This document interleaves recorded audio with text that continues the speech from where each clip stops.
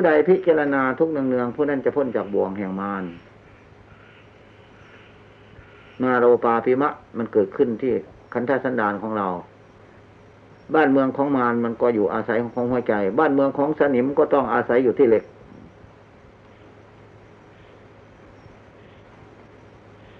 เมื่อชำระสนิมออกแล้วเหล็กก็สะสะอาดกิเลสเปรียบเปรียบเหมือนเถาวันพันต้นไม้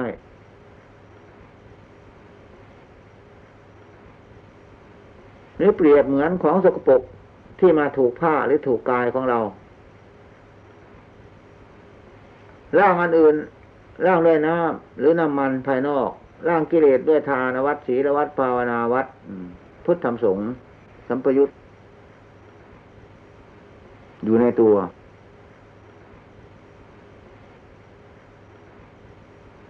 คนดีคนชั่ว เราอะไรเอาอะไรเป็นเครื่องวัด เอาศีลธรรมของพระบรมศาสดาเป็นเครื่องวัด เอาเหตุ เอาผลของเขาเป็นเครื่องวัด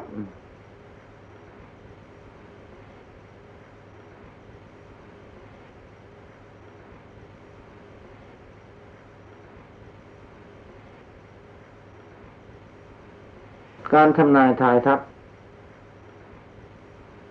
เราจะไปอัศจรรย์คนอื่นมากกว่าตัวเรามันก็ไม่ถูก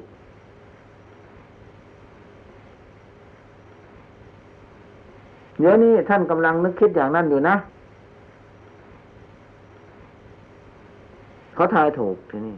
เราจะไปให้คะแนนเขามากกว่าเรา เราก็ไม่ยอมให้อีกเหมือนกัน เรารู้จักก่อนเขาแล้ว เมื่อเขาไม่ทายเราก็รู้จักก่อนเขาแล้ว เราจะไม่ให้คะแนนเขาทำไม เรานึกยังไงเราก็รู้อยู่ทีนี้เขามาทายเราถูกเรา เราก็อัศจรรย์เขา ทำไมไม่อัศจรรย์ตัวเอง ตัวลูกก่อนเขาแล้ว คุณมานัทนิจักคณะ นามสกุล อยู่อำเภอตะกัวทุ่ง แกแกเคยมาอบรมกับพระกรรมฐาน ทีนี้เด็กคนหนึ่งตื่นขึ้นมาแล้ว ผู้ใหญ่ก็เถียงกัน เด็กคนนี้มันไม่ล้างหน้า ก็เถียงกัน บางคนว่าล้างแล้ว แต่เด็กคนนั้นมันไม่พูด ที่นี่คุณมานัดไปตัดจำนวนเขา จะเถียงกันทำไมล้างหรือไม่ล้างมันก็รู้จักมันอยู่ เจ็บเหลือเกิน อันนี้เขาพูดเป็นธรรมะอีกเสียด้วย ไปเถียงกันทำไมล้างหรือไม่ล้างมันก็รู้จักมันอยู่แกเคยมาพบกับพระกรรมฐาน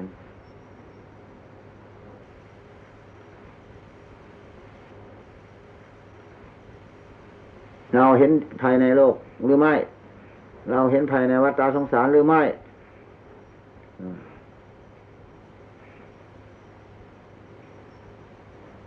หรือเราอยู่สิ้นวันสิ้นคืนไปเฉยๆ อันนี้เป็นเรื่องที่เราจะถามตัวเรา ไม่ต้องให้คนอื่นถาม จะเห็นชัดในเราเอง ไม่ต้องให้คนอื่นให้คะแนน หรือบุก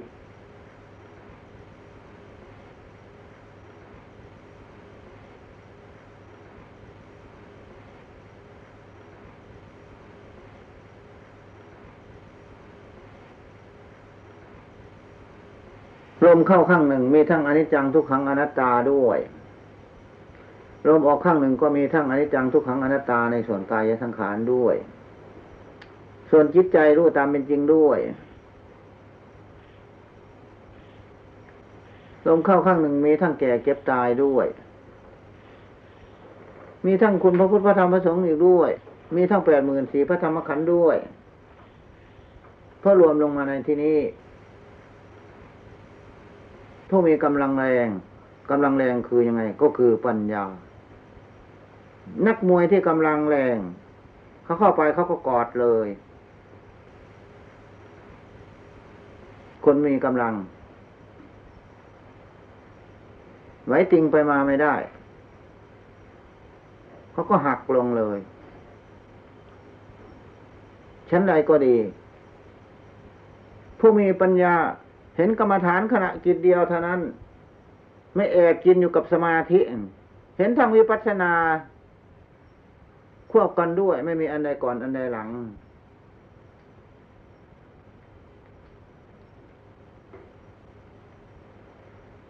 พวกมีปัญญาสามารถนับหินเน็บนับเม็ดทรายได้ นับเม็ดหินเม็ดทราย เพราะหินทราย เป็นธาตุดินเป็นของแข็ง นับลงถึงเอกปฐวีธาตุนับเม็ดน้ำลงถึงเอกอาโปธาตุในปัจจุบันหนึ่งน้ำหนึ่งดิน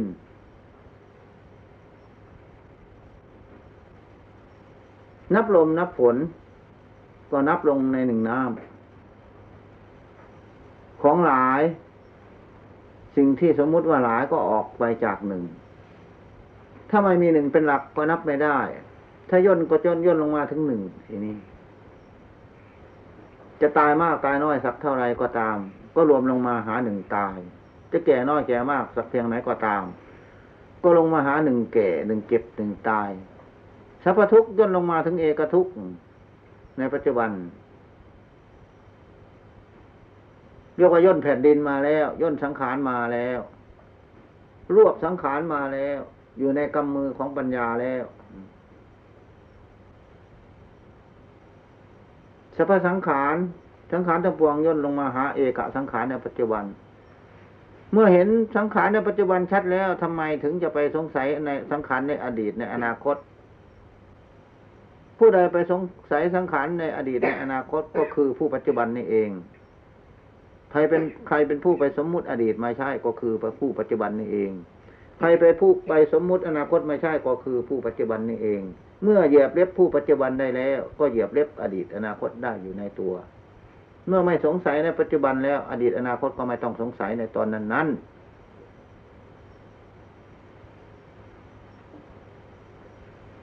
ถ้าไม่อย่างนั้นการปฏิบัติธรรมก็สุ่มเดา แก้วเจ้าขากินข้าวกับกล้วย แต่ว่ากินอยู่ก็ยังไม่รู้จักกล้วยนี้ เคยหูก็หัดปากว่าไปอย่างนั้น ภาษาของมันเราฟังดู ไม่รู้ว่ามันพูดอะไร เราได้ยินมันพูดภาษาคนได้ก็เป็นที่ชอบใจ เพราะเป็นการแปลกประหลาด ที่นกพูด เป็นภาษาคนได้เท่านั้น เราจะใช้ให้คาบหนังสือมาให้เรา มันก็ไม่รู้จักอีกด้วย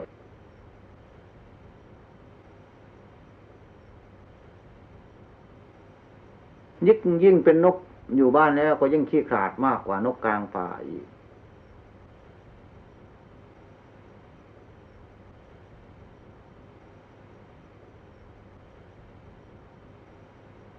พูดคนเดียวมันก็เหนื่อยทีนี้คนอื่นไม่มีโอกาสพูด อืมคนพูดคนเดียวน่าเบื่อ ให้ท่านผู้อื่นพูดบ้าง นี่ ให้ ท่านผู้อื่นมีสิทธิ์บ้าง มีสิทธิ์แต่เราคนเดียวไม่ได้ ต้องให้สิทธิ์ท่านผู้อื่นบ้าง ใครจะปรารบอะไรก็ปรารบที่นี่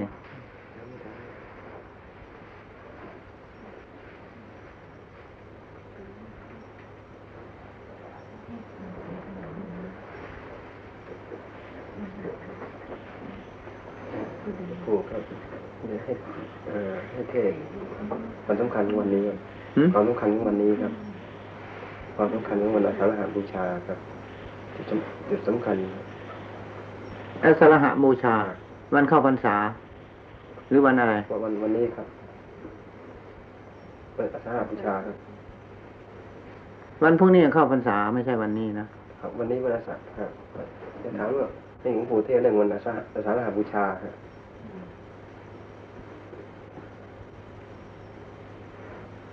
วันนี้ ครับคือวันเข้าพรรษาอย่างนั้นหรือไม่ใช่ครับ ยังไม่เข้าใจคำถามเดี๋ยวนี้ความสำคัญของวันความสำคัญของวันอาสาฬหบูชาครับเออมันมันเป็นยังไง ครับ เพราะแต่ก่อนนั้น พระไม่ได้จำพรรษา ยังไม่ได้บัญญัติพรรษาเที่ยวเตรไปมา เหยียบคันนาของเขาขาดไปหมด ไปที่ไหน ก็เป็นแถวแถวไป ที่นี่ศาสนาอื่นเขาดูถูกว่าอ่าศาสนาพระโคดมทำไมถึงไม่เข้าพรรษา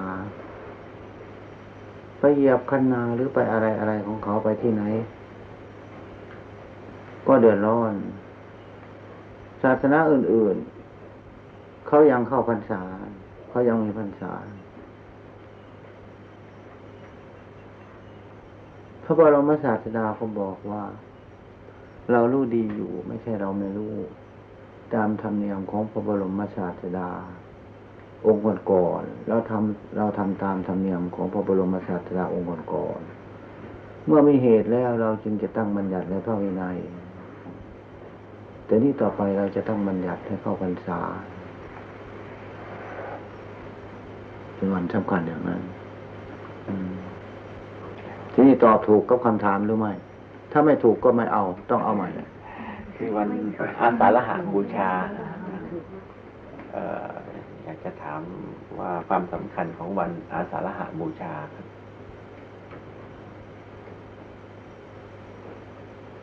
วิสาขะไม่ใช่ อาสาฬหะบูชานี่กำหนดกำหนดวันนี้นะครับ วันนี้ครับ เออตอนนี้เราก็ไม่สนใจอีกละทีนี้เออสารหะบูชา เป็นวันเกรียมที่จะเข้าพรรษา อย่างนั้นนะเรียกว่าอาสาฬหะบูชาเราก็ไม่รู้จักความหมายอีกเหมือนกันตอนนี้ แล้วก็โง่อีกเหมือนกัน ไม่รู้จักสมมติคือภาษาธรรมดา ที่นี่ถามให้ละเอียดอีกที่นี่อาอาสาฬหะบูชาคือวันปฐมเทศนาแหละครับ โอ้ธรรมจักรวสูตรเทศโอ้ถูกแล้ว เราก็ลืมไปดอก ถูกแล้ว เราตอบไม่ถูกเรายอมผิดนี่ เป็นวันปฐมเทศนาของพระบรมศาสดาแสดงธรรมจากกัปวัตนสูตรอืมเรานึกเห็นแล้วทีนี่ถูกแล้วผู้ถามก็มีเหตุผลอยู่แต่ว่าผู้ตอบไม่ถูกเฉยๆดอก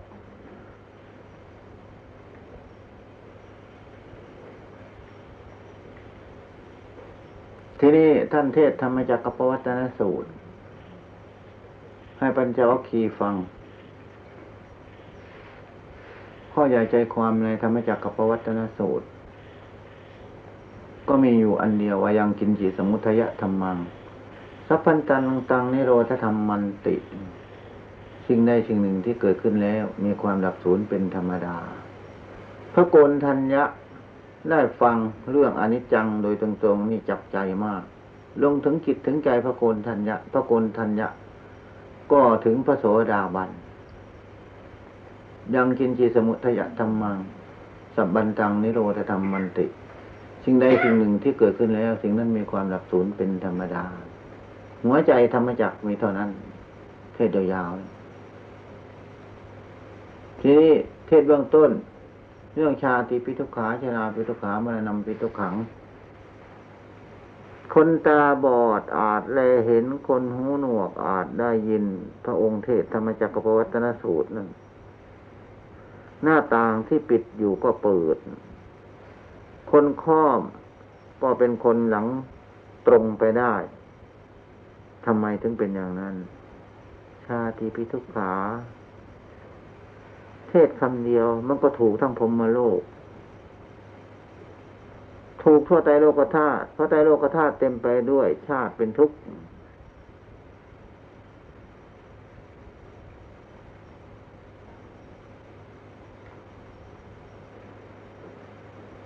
ทีนี้ปริวัติเบื้องสองก็บอกในข้อวัดปฏิบัติ เรื่องทุกข์เป็นของที่ควรกำหนดรู้ เรื่องสมุทัยเป็นเหตุให้ละ เรื่องมรรคเป็นข้อปฏิบัติ ควรเจริญให้ยิ่ง เรื่องเรื่องนิโรธควรทำให้แก้ทีนี้เมื่อเราพิจารณาทุกเป็นอารมณ์อยู่นี้มรรคกับนิโรธก็เป็นไปในตัว การพิจารณาทุกข์อยู่นั่นก็คือมรรคคือข้อปฏิบัติให้ถึงความดับทุกข์ความดับตัณหาได้สิ้นเชิงทุกข์ทั้งหลายก็ดับไปหมดได้ชื่อว่านิโรธ นิโรธคือความดับทุกข์ไม่ใช่นิโรธสมาบัติเราพิจารณาอนิจจังอยู่ จะเรียกว่าเราปฏิบัติตามธรรมจักรปวัตนสูตรหรือไม่ ก็เรียกว่าเราปฏิบัติตามธรรมจักรปวัตนสูตร ไม่ใช่ว่าเราปฏิบัติทุกข์แล้วก็จะปฏิบัติสมุทัยก็จะปฏิบัติมรรคแล้วก็จะปฏิบัตินิโรธ ปฏิบัติอันเดียวก็เกี่ยวกันโยงไปกันไปหมดหนึ่ง เมื่อพิจารณาทุกข์อยู่ สมุทัยทั้งหลายความทะเยอทะยานในวัฏสงสารเป็นเหตุให้เกิดทุกข์นั่นมันก็บรรเทาลงไปเองมรรคคือข้อปฏิบัติข้อปฏิบัติไปในตัวคือการพิจารณาทุกนั่นเอง คือข้อวัดปฏิบัติคือมรรคคือเหตุ เหตุปฏิบัติ ผลของเหตุปฏิบัติก็คือผล ที่นี่ก็ทำให้แจ้งไปในตัวเขาเรียกว่านิโรธ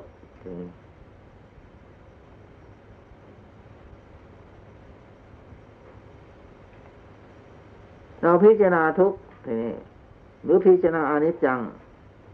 จะเข้าใจว่าเราปฏิบัติตามอนัตตลกนสูตรหรือไม่ ก็สูตรอนิจจังสูตรทุกขังสูตรอนัตตาก็อันเดียวกัน ในธรรมจักรปวัตนสูตรก็แสดงกองนามรูปชาติพิทุขาชราพิทุขามันนำพิทุขังคือเป็นกองรูปความโศกเศร้าเสียใจความปรารถนาไม่ได้สมหวังเป็นก็เป็นกองนาม ที่สัมปยุทธ์ด้วยกิเลส ก็มีแต่เรื่องเทศเรื่องรูปกับนามเท่านั้นละเพราะรูปกับนามเป็นเป็นของไม่เที่ยงเป็นทุกข์เป็นอนัตตา ทีนี้เทศธรรมจักรเทศอนัตตลพนาสูตร ก็เทศเรื่องรูปกับนามเท่านั้นรูปังอนิจจัง ดินน้ำไฟลมประชุมกันเป็นเป็นกายเรียกว่ารูป เวทนาอนิจจาสัญญาอนิจจาสังขาราอนิจจาวิญญาณังอนิจจังรูปังอนัตตาเวทนาอนัตตาก็เหมือนกัน ก็เทศกับรูปกับนาม ก็เรื่องรูปเรื่องนามเท่านั้น ถ้าไม่หลงรูปไม่หลงนามแล้วก็ไม่หลงภพไม่หลงชาติไม่มาก่อภพอีก ไม่ไม่ไม่มาก่อรูปก่อนามอีก ข้ามข้ามนามข้าม ข้ามรูปประโลก ข้ามอารูปประโลกก็คือข้ามความหลงของตนก็มีความหมายอันเดียวกัน ทีนี้ อธิตะปริยายสูตร ตาหูจมูกลิ้นกาย จัดเป็นรูปขัน จัดเป็นรูปประโลกด้วย รูปประธาตุด้วย รูปประสังขารด้วย รูปประโลกด้วย รูปประทุกข์ด้วย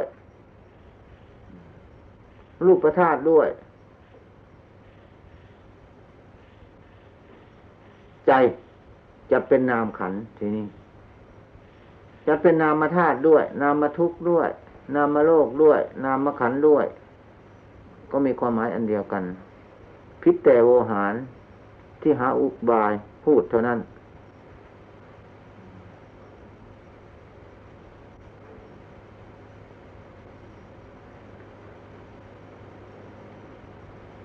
ผู้ฟังก็เอารูปเอานามฟัง ถ้ามันมีรูปมีนามก็ฟังไม่ได้ ผู้เทศก็เอารูปกับนามเป็นเป็นของเทศ ถ้าไม่รูปไม่ไม่มีรูปมีนามทำประโยชน์กันก็เทศไม่ได้ แต่รูปนามทั้งหลายอยู่ใต้อำนาจอนิจจังเสียแล้ว มีผลเป็นทุกข์ละเอียดเข้าไปกว่านั้นก็ไม่ใช่สัตว์ไม่ใช่บุคคล เพราะมันเป็นทุกอย่างพึงผาย เพราะมันเป็นอนิจจังอย่างพึงผาย ถ้าหากว่าเป็นสัตว์เป็นบุคคลตัวตนเราเขา เราก็จะห้ามอนิจจังและทุกข์ได้ เราห้ามอนิจจังและทุกข์ไม่ได้ ก็จำเป็นก็ต้องเป็นอนัตตา อนัตตาลึกกว่าอนิจจังลึกกว่าทุกขังทำอันเดียวกันนั่นเอง แต่ว่าลึกกว่ากัน เหตุฉะนั้นจึงว่าไตรลักษณ์ ลักษณะ ลักษณะที่เห็นธรรมลึกไปกว่ากันเป็นสามขณะเรียกว่าไตรลักษณ์ไตรลักษณะไตรแปลว่าสามลักษณะที่เห็นเห็นชัดเป็นสามตอน เมื่อเห็นไม่เที่ยงแล้วก็เห็นทุกข์สัมปยุตอยู่ในที่นั้น แล้วก็เห็นสิ่งที่ไม่ใช่ตัวตนเราเขาอยู่ที่นั่น ไม่ใช่ว่าอนิจจังจะเป็นเป้าหนึ่ง ทุกขังจะเป็นเป้าหนึ่งอนัตตาจะเป็นเป้าหนึ่ง ก็คือเป้าอันเดียวกันในปัจจุบันนั่นเองจงเข้าใจดีนะทีนี้เข้าใจนะออทีนี้อะไรอีกก็พูดอะไรอีกจะถามวันวิสาขามาคะไปอีกหรือ เราก็ไม่นึกว่าจะคืนมาถามอย่างนี้ เพราะเราไม่ค่อยสนใจ ทีนี้บางทีเราก็ไม่นับวันเสียด้วย วันที่เท่าไรเราไม่ปรากฏอีกเสียด้วย บางทีก็ถามพระบางทีก็ถามพระวันที่เท่าไรวันนี้เพราะเรามันผ่านมันไม่ค่อยเอื้อเฟื้อกับวันที่ไปเสียแล้วทีนี้เพราะเรานึกเห็นว่าวันไหนก็เป็นวันดี วันไหนก็เป็นวันชั่วอืมทำบุญคู่อายุเราก็ไม่สนใจ ถ้าถ้าทำบุญวันไหนก็เรียกว่าทำบุญคู่อายุ ถ้าทำบาปวันไหนก็เรียกว่าทำบาปคู่อายุนี่เรามันถือไปอย่างนั้นใช่แล้วทีนี้เห็นมาเมื่อมาถามตามสมมุตินี่เราก็ยอมติดนี่ มันอสารหะคือวันอะไรเราก็ลืมไปซะอันนี้มันมีอยู่ในนักธรรมตรีนี่อยู่อยู่ในพุทธประวัติ อันนี้ เราลืมไปซะ เราก็ท่องวนมานานแล้ว อันนี้ แต่ว่าเราลืมไป มันสารหะ วันเพ็ญเดือนแปดวันใกล้จะถึงวัน เอ่อวันวันแสดงธรรมจักรปวัตนสูตร ถ้าจะถามในพุทธประวัติ วันมาฆะวันนี้สาขะวันมาฆะเราก็แปลทับษาว่ามาเคาะเคาะให้สัตว์ทั้งหลายทำบุญ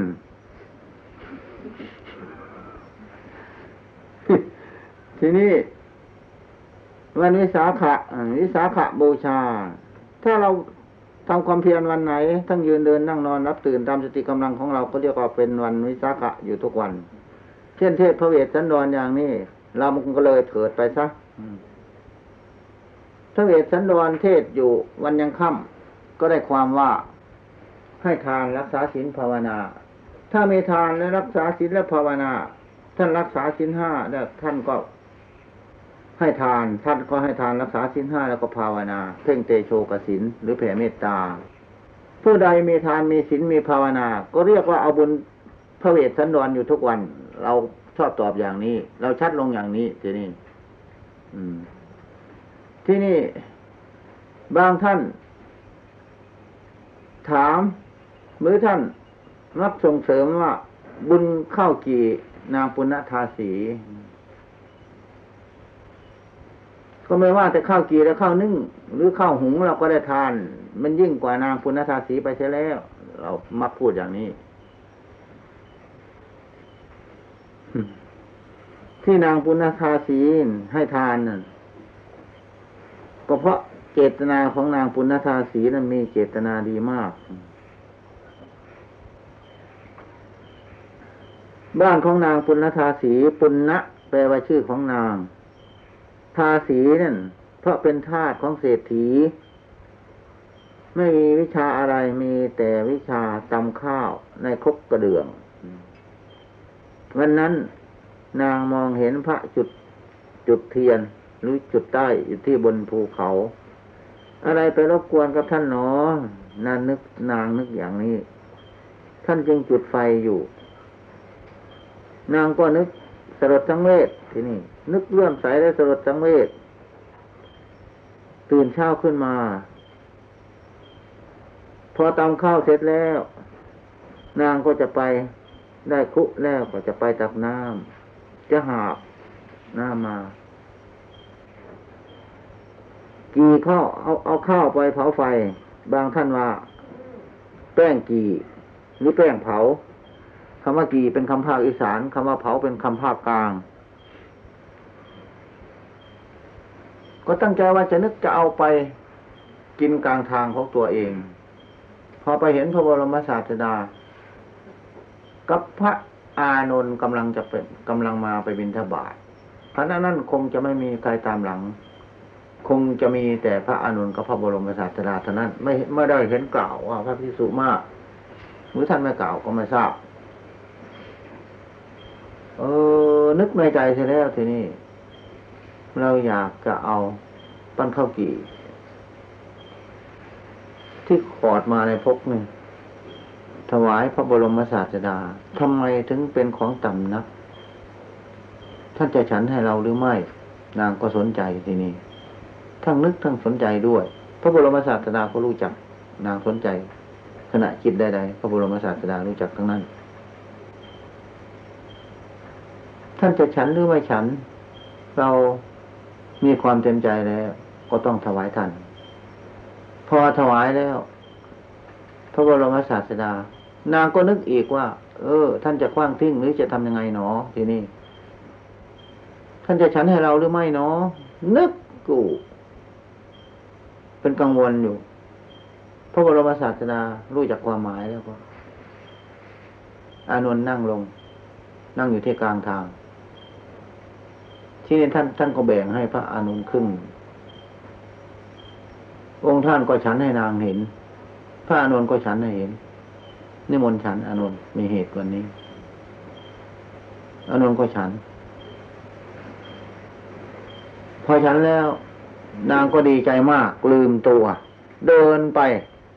เดินไปไม่ดูเท้าของตัว ไปเหยียบงูเห่างูเห่ากัดทีนี้ก็ตาย ตายแล้วไปเกิดในเมืองสวรรค์เออทำไมเรามาอยู่ที่นี่แล้วลึกชาติได้ที่นี่ เออ เราได้ถวายบ้านข้าวกี่ให้พระบรมศาสดางูเห่ากัดเรา เราจึงเลยมาเกิดในที่นี้ นางก็รู้จักทีนี้ถ้านางนางปุณณภาทาสีนั่นเองเป็นผ้าบางสกุลครั้งที่แรก ในพระพุทธศาสนานี่ เขาคงทิ้งสุกทิ้งทิ้งศพกัน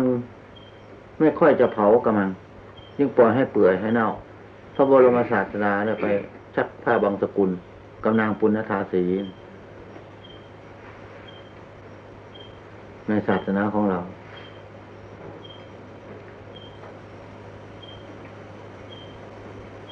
พระโคดม ทุกๆศาสนา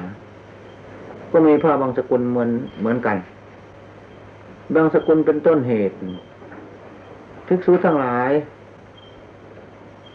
เห็นว่าพระบรมศาสดาบัญญัติกฐินแล้วจะทิ้งผ้าบางสกุลหรือไม่เราไม่ทิ้งผ้าบางสกุลเป็นวินัยเดิมกฐินเป็นวินัยที่เพิ่มเติมในภายหลังผ้าบางสกุลนั้น จะปะจะชุนสักห้าร้อยชั้น ก็ไม่เป็นปัญหา เวลาขาดมา เวลาไม่ขาด จะต้องการทำจีวร จะทำเป็นสองชั้นก็ได้ ตามความประสงค์ ถ้าเป็นผ้าบางสกุล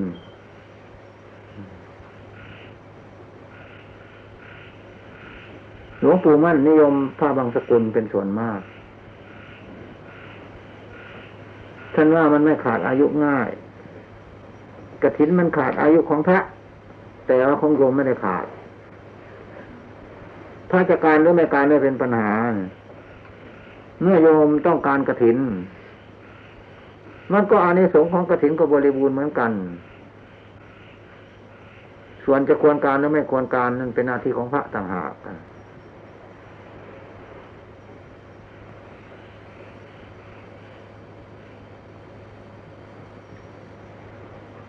ทีนี้บางท่านไม่รู้จักเจตนา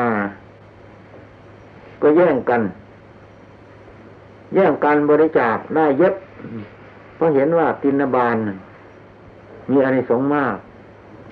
ก่อนที่ตินบาลจะให้ทานตินบาลไม่ได้ให้ทานเพื่อแข่งโลก มีความคำนึงถึงอดีต เราเกิดมาในชาตินี้เป็นคนทุกข์คนจน เพราะไม่ได้ให้ทานกับท่าน บกพร่องในการให้ทานเราจึงเป็นคนทุกคนทุกคนจนถึงเพียงนี้ เมื่อเป็นดังนี้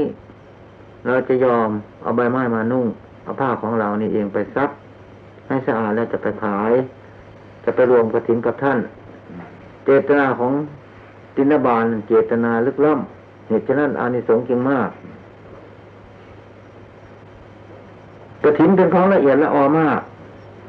เมื่อพระไปชวนโยมไปทำมันก็ไม่บริบูรณ์อาตมาจะพาไปทอดกระถินบ้านนั่นบ้านนี้จงทำกระถินเถิดอย่างนี้กระถินก็ไม่บริบูรณ์ เพราะเป็นกระถินที่เรียบเคียง ต้องโยมเป็นเองรัทธาเป็นเอง โดยไม่มีผู้อื่นมาชักจูง โดยไม่มีพระไปชักจูง คนอื่นชักจูงไม่เป็นปัญหาเนี่ยถ้าชักจูงก็ต้องผิด ท่านจัดว่าเป็นวจีวิญญัตเป็นโอภาษ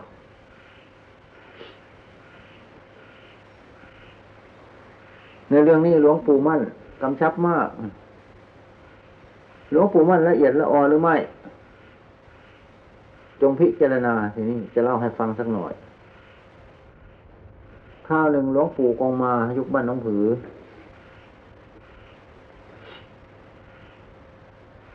หลวงปู่กองมา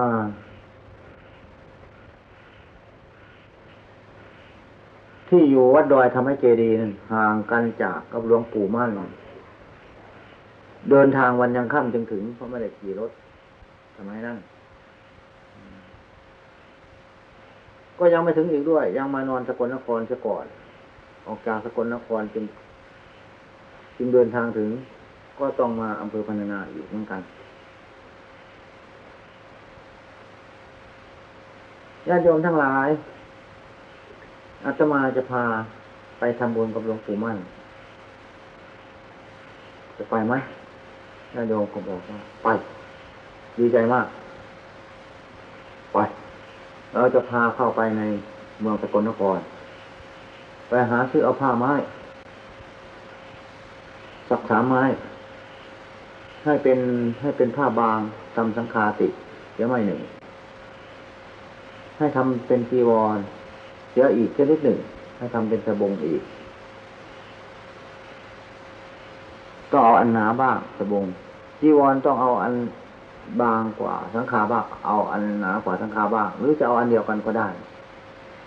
พวกญาติโยมก็ดีใจ เพราะเขารบเรื่องใช้หลวงปู่มั่นมาก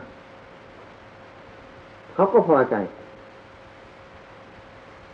ทีนี้ก็ตกลงไปซื้อที่นี่ ซื้อแล้วก็เข้าไปถวายท่าน พอไปถึงท่านก็ถวายขอนิมนต์ท่านอาจารย์ เปลี่ยนจีวรและสังฆาเออแล้วก็เปลี่ยนมาใหม่ๆแล้วเฉพาะออกพรรษาปีนี้ที่ท่านก็กลับบ้านกลับบ้านก็สั่งให้ท่าน อาจารย์มหาบัวท่านหลวงปู่มหาบัวบอกว่าเขาให้วิงวอนให้หลวงปู่เปลี่ยนให้นะเออ ผมจะวิงวอนท่านดอกท่านอาจารย์มหาบัวหลวงปู่มหาบัวก็วิงวอนในขณะนั้น สามครั้งจึงได้ ครั้งที่หนึ่งวิงวอนไม่ได้แล้วก็ห่างไป อีกสองสามวันก็เอ่ยขึ้นอีก ไม่ได้ ก็ห่างไป อีกนานห้าหกเจ็ดวันก็เอ่ยขึ้นอีก ท่านก็ทรงอนุญาตอย่างฝืดเมื่อตัดแล้ว เย็บแล้วย้อมแล้ว ที่นี่ท่านไปเดินจงกรมที่นี่ ผุดขึ้นมาที่จิต ท่านพูดอย่างนั้นพูดกับสงผ้าที่ท่านนุ่งห่มอยู่นี้นไม่ใช่โยมเขาเป็นเองนะ ท่านอาจารย์กงมา ไปขุดไปเกาให้เขามา เรารู้เองที่นี้เรารู้ทีหลังฉาก ไม่ควรเราจะใช้ท่านพูดอย่างนั้น ถ้าถ้าลูกศิษย์ของเราจะใช้ใครจะเอาไปใช้ก็เอาไปซะไม่มันเป็นไรแต่ไม่สมฐานะของเราฐานะของลูกศิษย์สมอยู่เพราะเราให้ก็ถือเป็นของเราท่านอาจารย์หลุยก็เลยเอาตกลงท่านอาจารย์หลุยเลยเอา เพราะแบบเดียวกัน ร่างก็เท่ากันกับท่านอาจารย์หลุย สูงต่ำก็ดี ละเอียดขนาดไหน หลวงปู่มั่น ไม่เห็นแก่ได้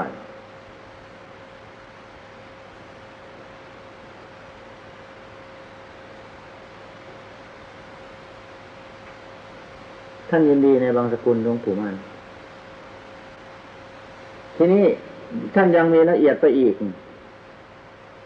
อันไหนที่เขามาบางสกุล ในกลางสงฆ์ที่ศลาก็ดี ที่กลับเวลาบินทบาทก็ดีที่หนทางก็ดี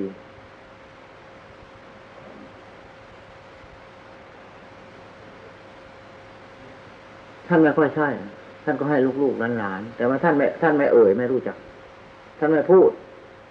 ไม่ค่อยใช่ ถึงจะขาดแคลนสักเพียงไหนก็ไม่ค่อยใช่จัดให้ลูกให้หลานเลย ส่วนที่ท่านจะใช่น่ะ ที่ไหนเข้ามาบางสกุลที่ท่านเดินจงกรมหรือที่บันไดท่านหรือที่กุฏิท่าน ถ้าเมื่อท่านขาดเขินท่านก็ใช่ ถ้าไม่ขาดเขิน ท่านก็ให้องค์อื่น ไม่ได้หวงไว้แต่เฉพาะผู้เดียว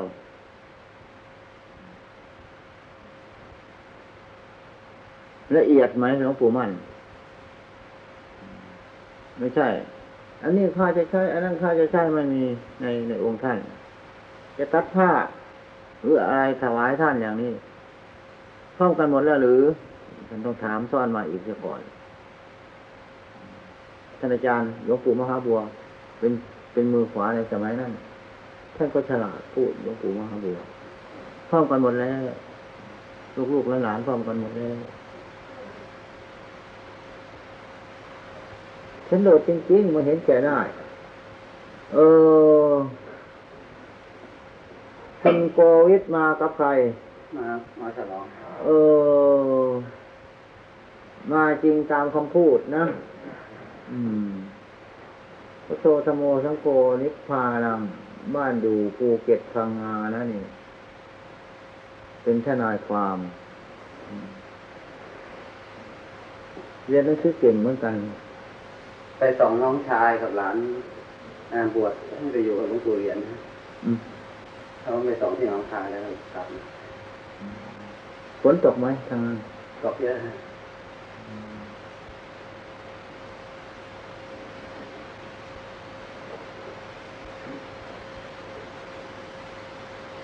ธรรมะอึกกระทึกกันนานแล้วนี่ ไม่ใช่ธรรมะกระถึกวันนี้ธรรมะอึกกระทึก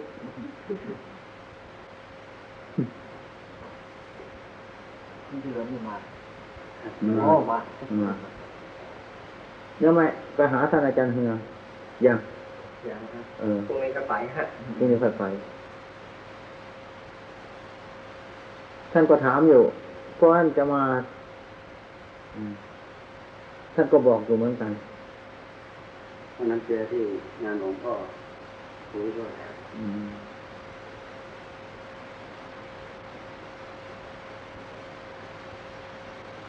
ที่นี่จะปรารบอะไรกันอีกทีนี้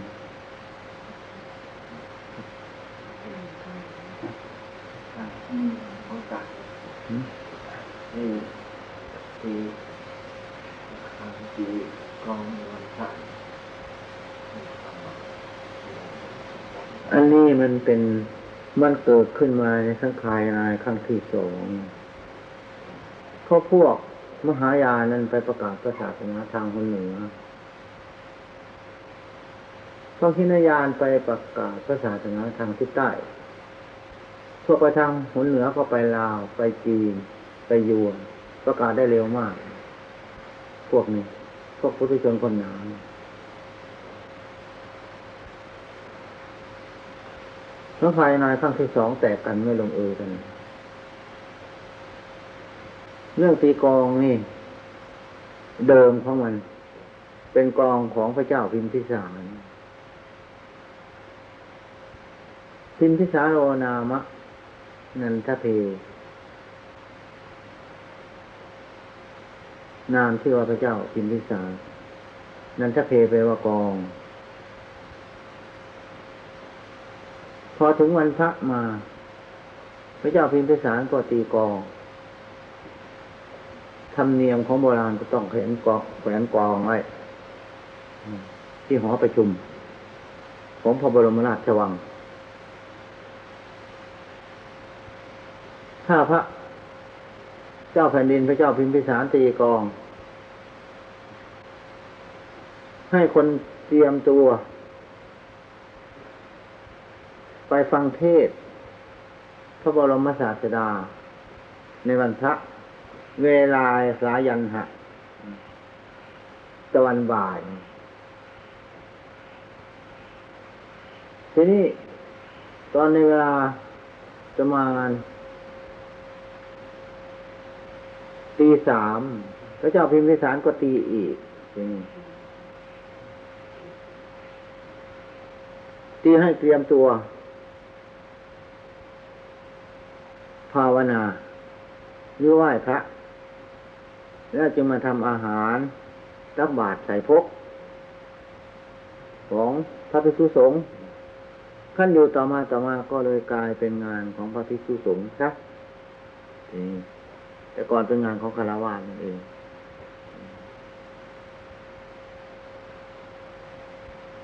พระเจ้าพิมพิสารดวงอำนาจพิชิตขาด ท่านมีชิ้นห้าบริบูรณ์ประจำเพราะท่านเป็นพระโสดาบัน ท่านออกกฎหมายเอง และไม่ต้องอาศัยท่านผู้ใดทรงอำนาจที่ที่ขาด ราชามาคาทูแปลว่าพระเจ้าแผ่นดินมคต อันตั้งอยู่หนใต้ติดบูนมีแคว้นใหญ่ เป็นแคว้นใหญ่และมีอำนาจมาก มีพระเจ้าพิมพิสาร เป็นผู้ปกครองทรงอำนาจที่ที่ขาด ท่านเป็นพระโสดาบันแล้ว มีชิ้นห้าบริบูรณ์ คนมีชิ้นห้าบริบูรณ์การออกกฎหมายมันก็ไม่เข้าข้างตัว เอาข้อศีลเป็นแว่นออกกฎหมาย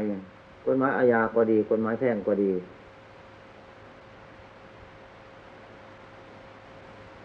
เพราะไม่เห็นแก่ตัว เพราะเอาศีลเป็นแว่นเอาศีลห้าเป็นแว่นเอาศีลธรรมเป็นแว่น ด้านอบายมุขทุกประเภท ท่านก็ทรงห้าม ทรงห้ามประชาชนท่านก็ออกกฎหมาย ทีนี้มีผู้สอบถามเข้ามาอีกโทษจะไปฆ่าพระโมคคัลลานั่นโจรห้าร้อยพระเจ้าพิมพิสารจับได้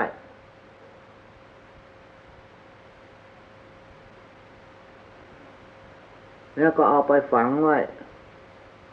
ขนาดเอวบ้าง ขนาดคอบ้าง เอาไถเหล็กไถทรมานเพราะฆ่าพระรหันเขามีปัญหาสอดเข้ามาว่า พระเจ้าพิมพิสารเป็นพระโสดาบันแล้วทำไมถึงไปฆ่ามนุษย์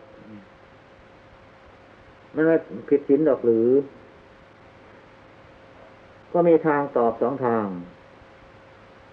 เพราะฆ่าพระอรหันต์นั่น มันเป็นครุกรรมมันบาปหนัก ผลของบาปอันนั้นบันดาลเองมีข้อหนึ่ง ข้อหนึ่งอีกไม่ใช่พระเจ้าพิมพิสารฆ่ากฎหมายฆ่าต่างหากเพราะกฎหมายเขาตั้งไว้ก่อนแล้ว ต้องตอบอย่างนั้นทีนี้เพราะที่กล่าวตัวพระเจ้าพิมพิสารล่วงสินห้าก็เลยเป็นโมฆะไปทีนี้ ในสมัยทุกวัน ในสมัยปัจจุบันเขามีการโต้กันอยู่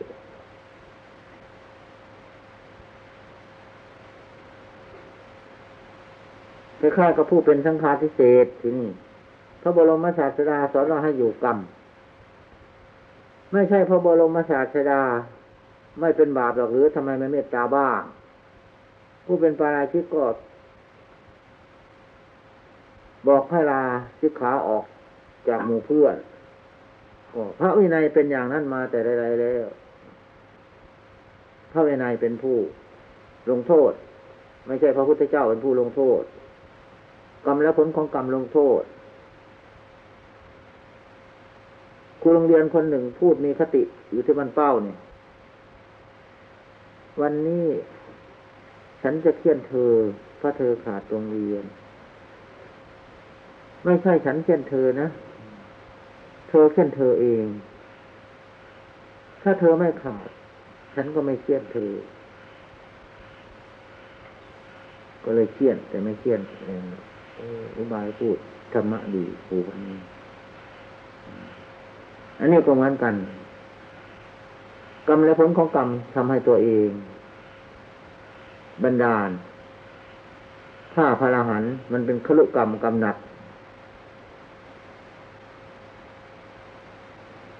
ขลุกรรมกรรมหนัก หมายถึงปาราชิกสี่และอนันตริยกรรมห้าฝ่ายในทางบาป ฝ่ายในทางบุญขรุกรรม กรรมแปลว่ากิริยาที่ทำหมายถึงพระอนาคามี พระอนาคามีก็เรียกว่าคารุกรรมเหมือนกัน ถึงพระอรหันต์แล้วไม่จัดว่าเป็นคารุกรรม เพราะพ้นจากเหตุจากกรรมจากผลของเหตุผลของกรรมไปแล้ว อยู่เหนือเหตุเหนือกรรม และผลของเหตุของกรรมไปแล้วพระอรหันต์ไม่ได้จัดว่าเป็นกรรม ไม่จัดว่าเป็นผลของกรรม ไม่จัดว่าเป็นเหตุ ไม่จัดว่าเป็นผลของเหตุ เพราะพระอรหันต์ไม่ได้สร้างเหตุเพื่อจะเอาผล เหตุจิตเหตุใจของเราจะทำยังไง มันจึงจะดีกว่านี้ พระอรหันต์ไม่ได้แต่เพราะมันดีพอแล้วพระอรหันต์ท่านระวังจิตใจของท่านหรือไม่ มันไม่มีโทษท่านก็ไม่ได้ระวัง จะระวังทำไม เพราะมันไม่มีโทษ พวกเราถ้าไม่ระวังมันมีโทษจริงๆเพราะมันไม่ยังไม่พ้นเหตุฉะนั้นจึงว่าจบจิตพระพุทธศาสนา เมื่อจบจบจิตในพระพุทธศาสนา ก็จบจิตในธรรมศาสนา สังฆศาสนาอยู่ในตัว ไม่มีสิ่งที่จะทำไปอีก เหตุฉะนั้นจึงว่าพระอริยเจ้าพระอรหันต์อยู่เนื้อบาปเนื้อเนื้อบุญ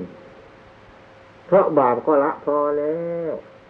เพราะบุญก็สร้างพอแล้วก็ต้องอยู่เนื้อบาปเนื้อบุญ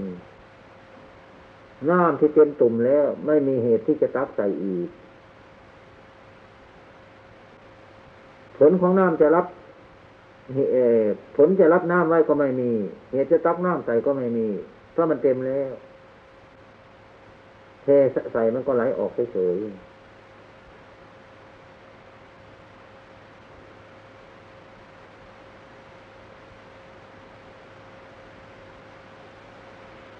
ท่านผู้พ้นไปแล้วไม่กลัวแพ้กลัวชนะ เพราะท่านอยู่เหนือแพ้เหนือชนะแล้ว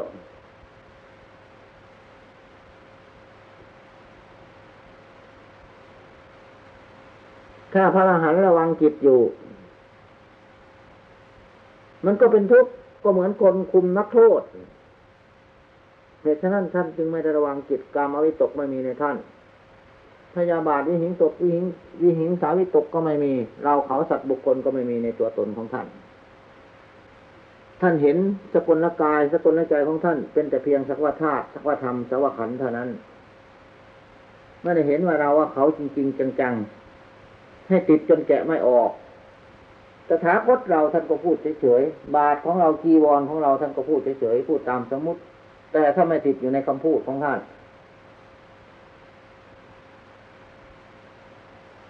เราฉันอาหาร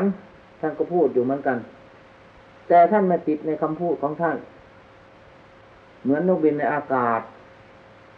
บินอยู่ไม่มีกลางวันกลางคืน รอยของนกก็ไม่มี เห็นก็เห็นแต่ตัวนก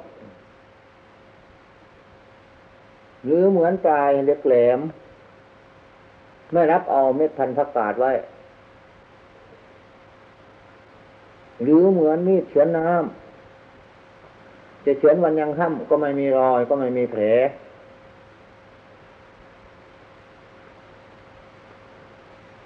จิตพวกเราไม่เป็นอย่างนั้น ยังไม่พ้นทุกข์ยังก็มาเกิดแก่เจ็บตายอีกอยู่ ครื่องทดสอบแล้วว่าพุทธศาสนามีอยู่ พระอนาคามีราคะไม่มี โทสะหายไปหมดแล้ว โมหะหลงยังมีอยู่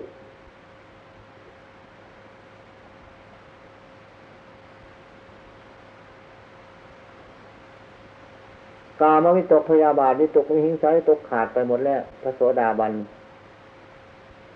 ก็ผ่อนปลนเบาไปแล้ว พยาบาทวิตกไม่มีในพระโสดาบันวิหิงสาวิตกก็ไม่มีในพระโสดาบันมันมาทำกูกูจะพยาบาทปองร้ายแก้แค้นมันไม่มีในพระโสดาบันยกใส่หัวเลย ถ้าได้เคยทำเขามาแต่ชาติก่อนก็ให้แล้วกันไปซะถ้าหากว่าเขามาขอดเวรใหม่ หรือมาผูกใหม่ มาสร้างใหม่ ก็ให้แล้วกันไปซะเราจะไม่ตอบตรงนึกอย่างนั้น แต่ว่าโกรธอยู่ ไม่ถึงกับอาฆาต ไม่ถึงกับจองเวรอาฆาตจองเวรผูกใจเก็บไม่มี แก้แค้นไม่มี ถ้าใครเป็นอย่างนั้น ไม่มีใครรับรอง ก็เป็นพระโสดาบันนะครับคนรับรองแล้วพระอนาคามี ไม่มีกามมราคะขาดไปแล้ว